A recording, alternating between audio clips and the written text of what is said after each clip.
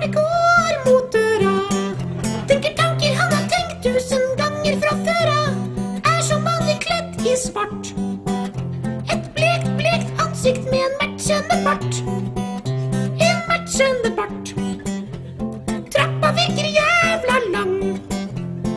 Armen nynner på en depressiv sang. Nede venter nok en dør. Før jeg når den, tenker Arne, er jeg sikker på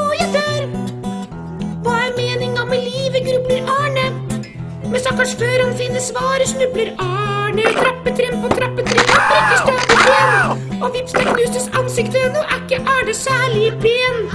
Nakken brekker med et touchbrett knekk, og hjernen dytter ut av en diger sprekk.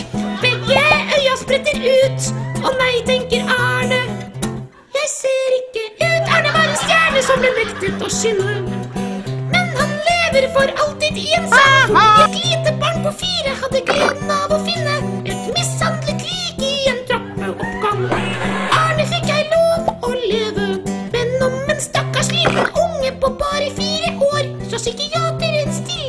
sjelelige sår. Men barnet bare smilte, det var bedre enn på TV. Det var bedre enn på TV. Det var bedre enn på TV.